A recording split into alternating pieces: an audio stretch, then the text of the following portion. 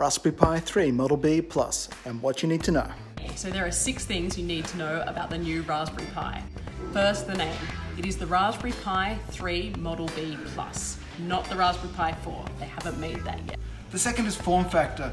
It pretty much has the same form factor as the Raspberry Pi 3 Model B, but it's got these little heat sinks over the BCM, the system on a chip, and the wireless module that yeah, raise their profile ever so slightly.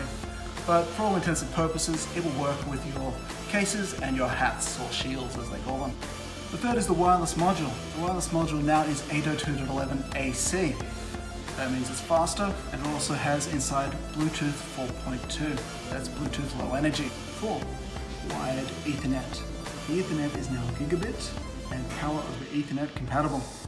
However, these come with some caveats. The Ethernet is limited to 300 megabits per second because it's going through the USB controller and the power over Ethernet requires an extra shield to make it do its thing. Speed.